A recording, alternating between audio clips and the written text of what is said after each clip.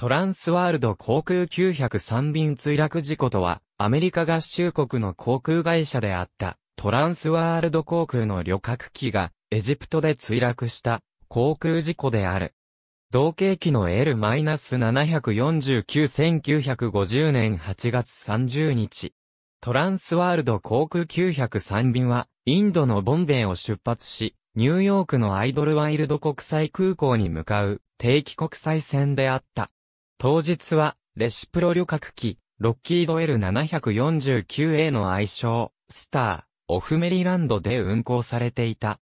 経由地であるエジプトのカイロから次の経由地であるイタリアのローマに向けて夜間に飛行に向かった。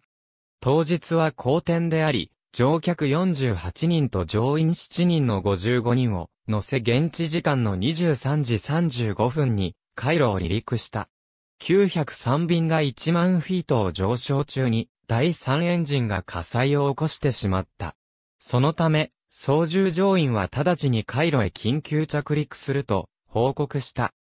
しかし途中でエンジンが機体と分離したため、回路から65マイルの砂漠に不時着陸を試みたが、着地の衝撃で機体は現地時間の8月31日2時3分にバラバラになった。生存者はいなかった。調査の結果、火災は、潤滑油の異常により、ベアリングが破壊したためと判明した。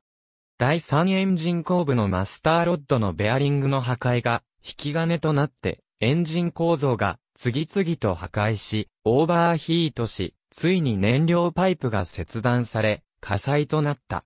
なおベアリングの破壊は、潤滑油の中にある不純物が詰まったためとされたため、自己対策として、潤滑油の交換頻度を上げたり、潤滑油フィルターの改良などが行われた。ありがとうございます。